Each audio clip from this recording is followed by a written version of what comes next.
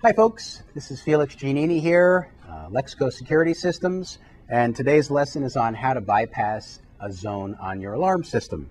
So you've gone up to your keypad and it's disarmed, and you see the message hit star for faults, or you see a fault being displayed on the keypad.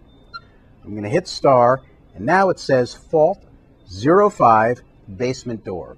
We're going to go ahead and turn the alarm system on, even though that point is faulted. Everything starts with your four digit code. So in this case, we're going to enter in that four digit code. For demo purposes, it's one, two, three, four. Now we're going to hit the six key, which is the bypass key, and then zero five for the zone. And we're going to hit the four digit code, one, two, three, four, followed by the six key, your bypass key, and zero five for your zone.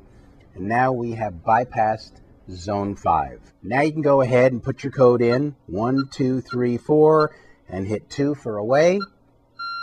And you've armed your alarm system with an open basement door, zone 5.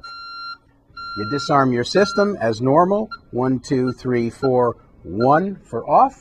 The system shuts off and the bypass automatically clears.